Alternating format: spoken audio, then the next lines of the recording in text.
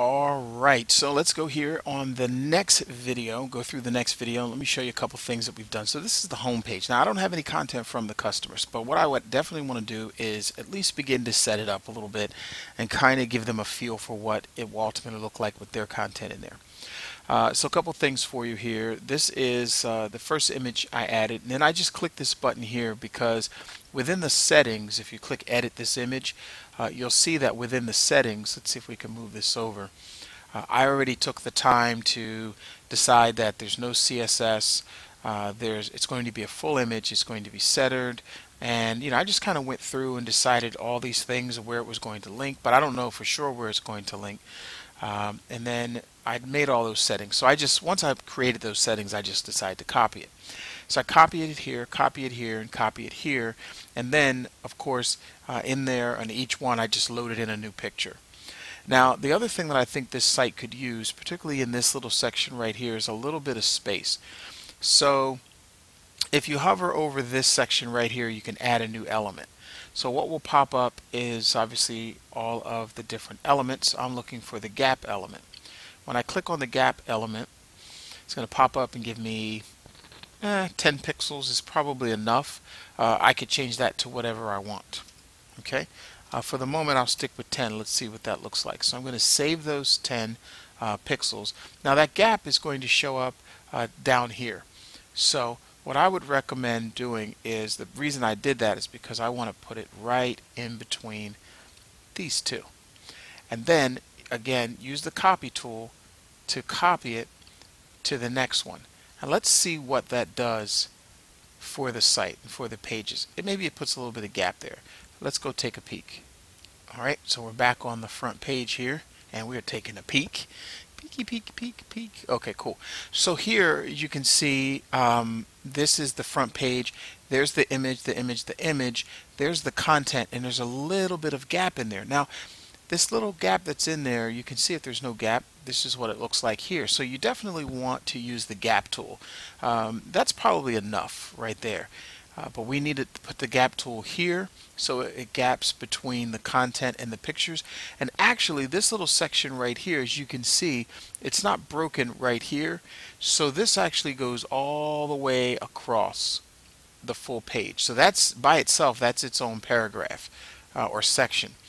And then you can see that without this section here without the gap that's the difference. So I like the 10 that's just me personally. Now the customer might say, hey, there's a lot of white space in here. Well, cool, we can get rid of that. But here there's no white space. Definitely we need to break that up a little bit. All right, so click here on the edit page section and then let's go in and take a closer look at the inside. Okay, so here we go. All right, so there's our gap. Um, that's that section I said goes all the way across. So what we want to do is uh, let's let's let's double this up. Let's take another gap and let's put it in between here. And then let's double this, copy it, and put it here. So now we have some space in between the two. Um, then I think we also, that puts some gap in between the paragraphs at the top and then the paragraph here in the middle, and then one here at the top. However, uh, I do think that we should add a little gap here and just use these to create space. And we'll do that all the way across and just copy them. Once you create them, copy them. Okay? Alright, so that's what that will look like and then we'll update and go back and take a look at the front page. Now there are other things that we could do. Um, I could also put in uh, let me show you one of the other things. Like you may want to draw a line in between these these two here. So let's go look at the composer and add uh, like a divider or something. Let's see where they might have a divider. So here is a separator. Okay, there's a separator. There's a couple things we could put in there, but what will make the most sense? We have the gap, we have the divider. Here's our divider. Alright, so, or we could put in a title. You could play around with it and see which one looks best to you. Uh, I'm going to go with the divider for a moment. And as I mentioned earlier, you know, this is like the most forgiving software.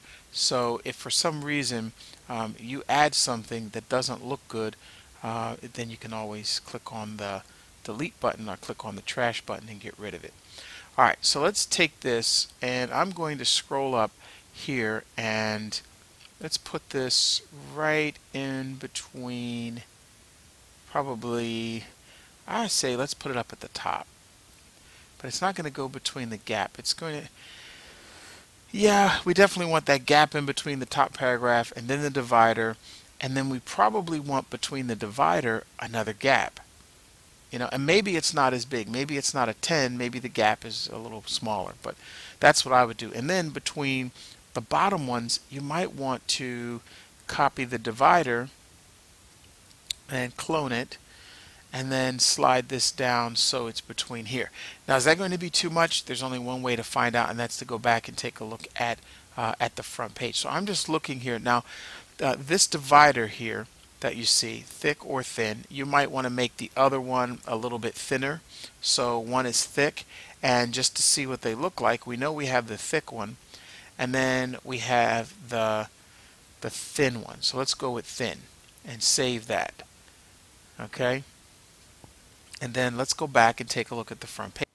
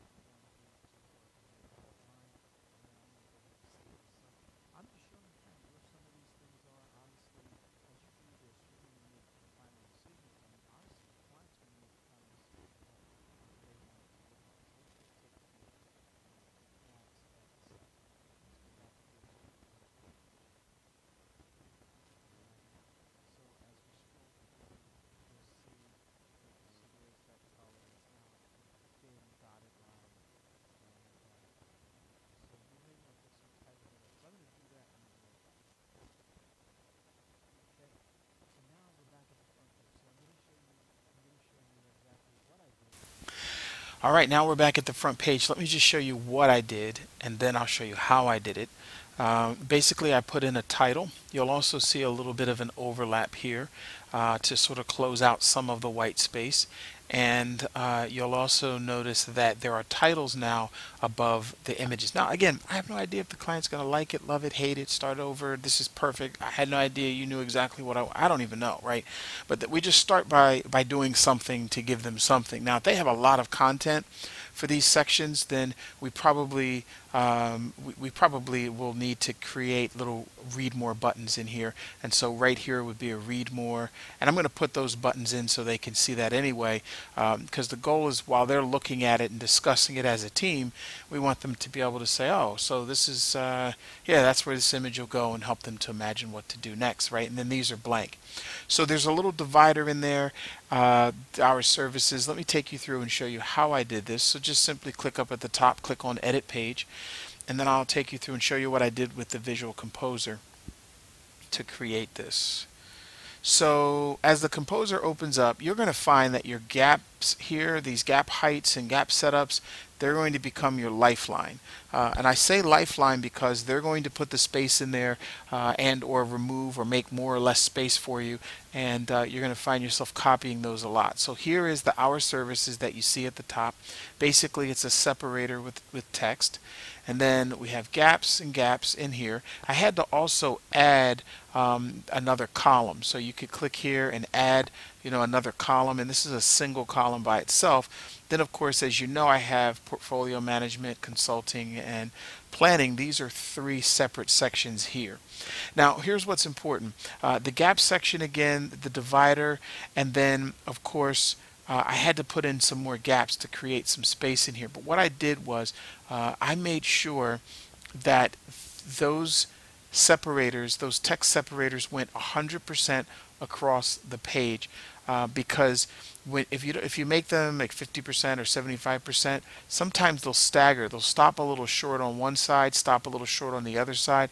That's just the nature of the software. So uh, what you want to do is take that from 70% to 100%. Now what the heck is Gene talking about? Well, up here in this section, when I created this services, um, you'll notice that this section only goes 70% across uh, the, the top. Now I did that for effect for one reason and one reason only. When we go back and we look at it, you'll see uh, here that this section was designed to sort of draw them in. So here's the image. We'll talk about this overlap in a moment. Here's our services. And then it only goes 70% across. And I think I could have done 50 or 30. But then I wanted to say, you know, our services, but these go 100% across the section, okay, of that specific section. So um, that's the reason I did 70% up here, but 100% here, okay? Now, let's take a look at this overlap here. Real simple to do. Back to edit page. Down here in this section, okay, uh, underneath here, it asks, would you like overlapping? Now without the overlapping, I don't know if you could see this little mountain here, and then there's like these little mountains here. Um, what happens is if you if you go transparent it'll be even closer uh, but the overlap allowed me to remove some of the white space that was between the slider and the image here so uh, and and of course the our services section so I could I had it set to normal but I decided to overlap it a little bit uh, to overlap that section okay to bring them a little bit closer so when we go back and we look at the page that's how I was able to get that overlap section.